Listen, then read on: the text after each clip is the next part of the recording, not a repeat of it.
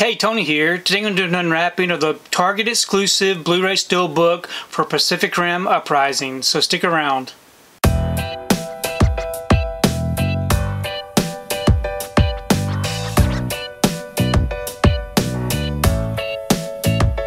So today I wanted to take time to do an unwrapping of the Target exclusive Blu-ray Steelbook for Pacific Rim Uprising.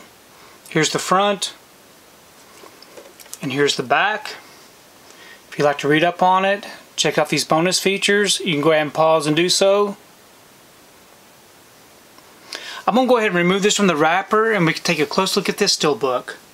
Okay, got the wrapper off and the J-card removed. Here's the front of the steelbook. It is a matte finish with some spot gloss. Pretty simple image there. There's no embossing or debossing. Then here's the back. Pretty plain. We open it up.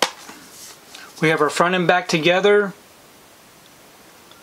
On the inside it does come with a digital code.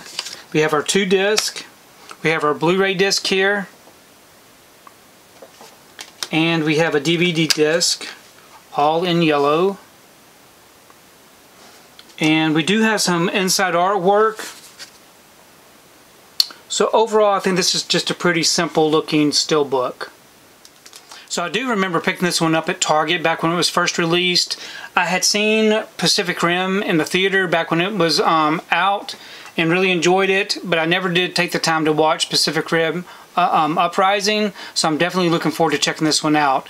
Please leave me a comment below. Let me know what you think what you think about this particular steelbook unwrapping, and also let me know your thoughts on Pacific Rim Uprising, because I really do enjoy reading your comments. But thanks for taking the time to watch this video, and we will see you next time.